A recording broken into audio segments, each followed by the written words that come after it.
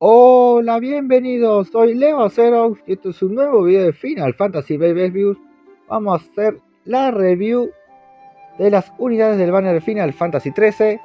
Así que vamos a ver con qué nos sale esta vez. No me acuerdo qué venía, pero bueno, vamos a analizar.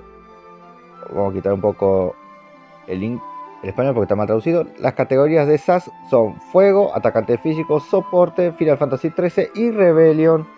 Los tags que tiene. Vamos a volver al español. Bueno, y en modo Breaking solo tiene atacante, atacante físico, fuego, Final Fantasy 13 y Rebellion. Bueno, ya hemos visto hasta hace poco en el video de noticias semanales los True Master, Super True Master y la penosa carta que tiene.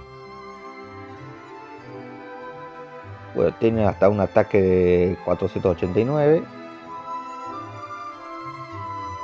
Tenemos tiene resistencias a fuego 30%, además no tiene ni una resistencia. Solo se puede equipar pistolas, sombrero, ropa y armadura ligera. Así que...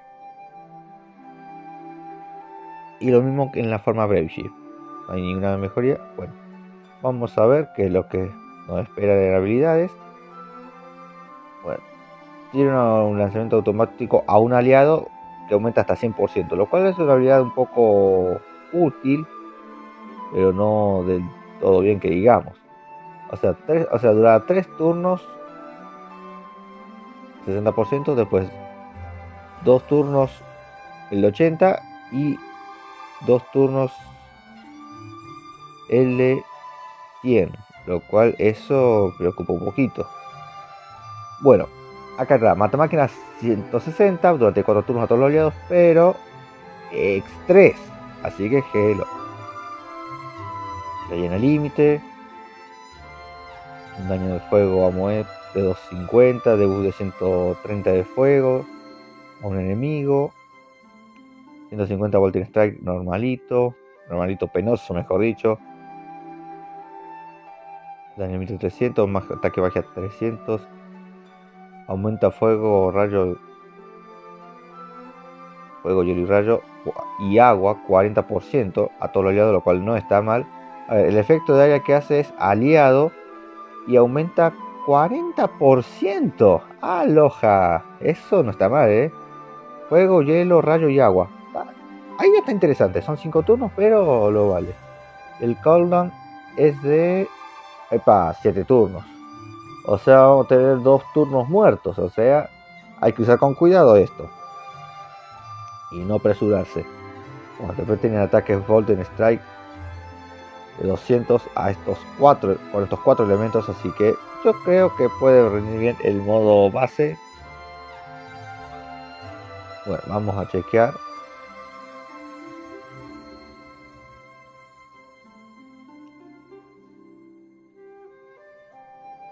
La Rey de 800.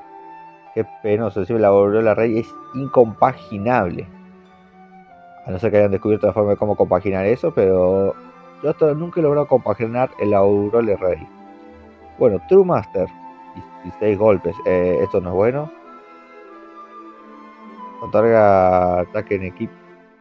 Otorga ataque en equipo habilidades específicas durante un turno y daño de 200.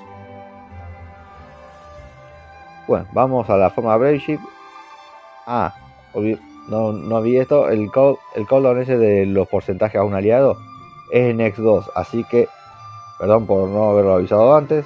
Ahí tiene el, mata, el en el modo Brave Tormenta fuego con modificador LV de 80.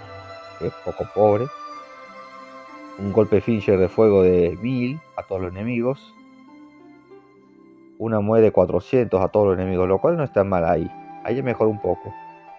Una mueve neutro de 400 también, con un debut de 83, que es pobre. Después un par de sus ataques normalitos que tenía en su forma base, pero ahí acá tiene más, acá tiene matas, cosas que en la forma base no tiene.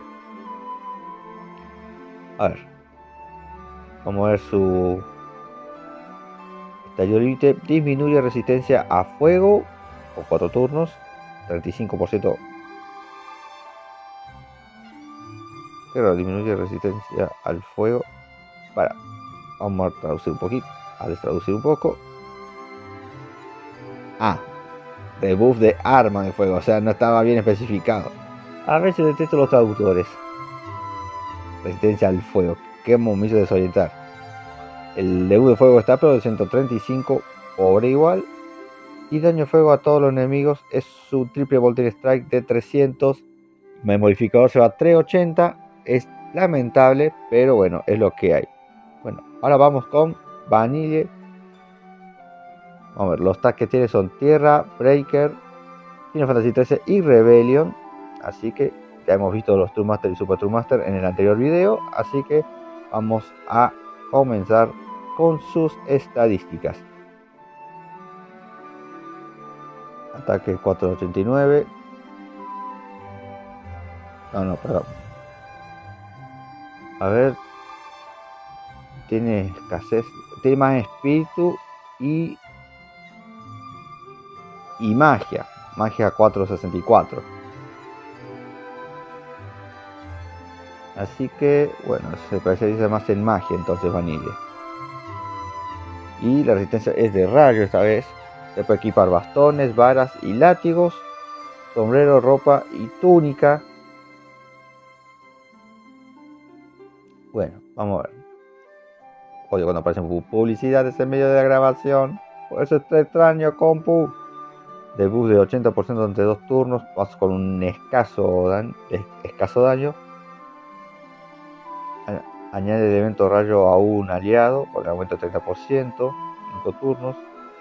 Y el efecto área era suponido al ser breaker, que va a ser enemigo. Disminuye la resistencia a fuego, rayo, agua y tierra 40%. Se complementan bien estas dos unidades, ¿eh? Son muy buenos. Son muy buenos los buffos y debuffos que dan este par de unidades. 40% durante 5 turnos. Pero este es el countdown de 6 turnos. O sea, solo tenemos un turno muerto a diferencia de SAS que tendremos dos turnos muertos. A ver, debufa un enemigo de 85%, inflige muerte de 30% o daño físico a un enemigo, golpe finisher de 400. A ver, ahora vamos a ver la Magnus. Y eso es lo que temía yo. Ataque físico con escala mágico, así que no tiene ataques mágicos. El debuff que tiene su Magnus es de 89% de defensa de espíritu por 3 turnos y las resistencias al fuego, rayo, agua y tierra durante turnos a todos los enemigos 150. No está nada mal. No está nada mal. Para ser una unidad normalita. Y modificador LV de, de 50. Acumulación de 30 de 300%. Dañada de rayo. Obviamente como elemento. Daño de tierra.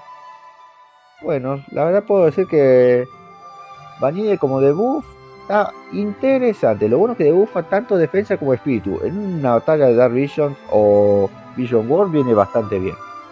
O dependiendo del trial que enfrenten. Así que bueno, vamos a ver el estallido límite y el super.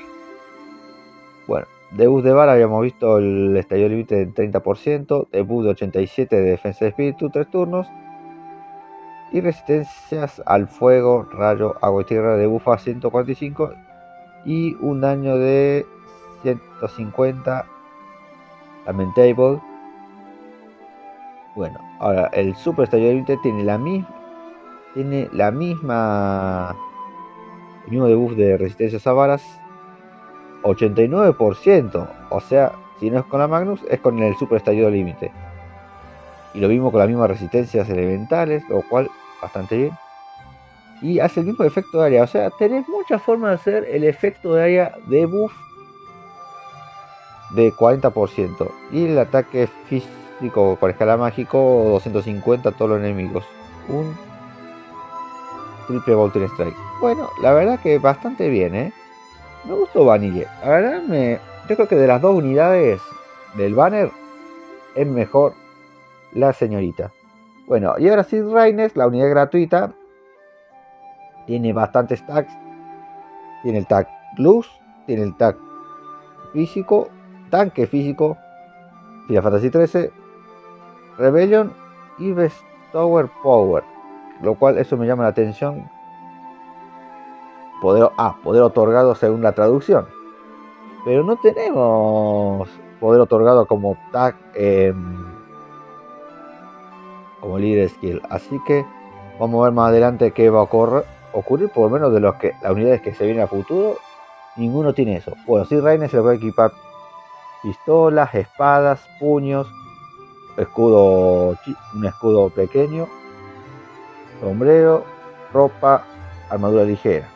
Bueno, veamos si tiene algo que se destaque. Aumenta la defensa y el espíritu 250, mitiga el daño 50%. Aumenta 250 de ataque y magia, aumenta el daño leve 200 y ambas cosas dos turnos. Daño de máquinas 130, típico de una unidad gratis. Reduce 30% de daño con máquinas. No tiene un aumento modificador. Aumenta 130 máquina de un aliado. Daño de luz para él. 30%. Modificador de en 50. Otro que tiene el daño físico de, de 1000 a una sola unidad. Un golpe finisher. Volting Stack de 200. Ataque de luz. Amue 250. Debut de luz 130. Y bueno, y activa la protección. 100%.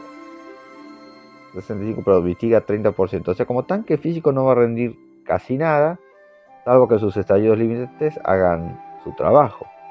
Vamos a ver. Estallido límite, defensa 80, disminuye defensa 80% y daño físico 200, triple voltage strike y 270 en el super estallido límite y 320 con el aumento de modificación.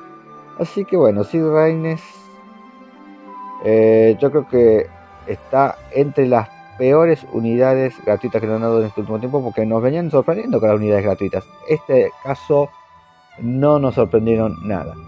Bueno gente, eso ha sido toda la review de las unidades de Final Fantasy XIII. Así que, ¿qué les pareció las unidades? ¿Van a apoyar por alguna de ellas?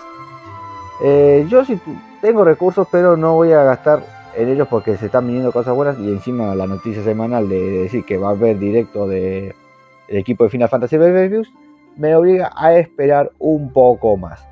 Bueno gente, eso ha sido todo. Los saluda Leo Xerox y nos estaremos viendo en el próximo video o directo. ¡Nos vemos!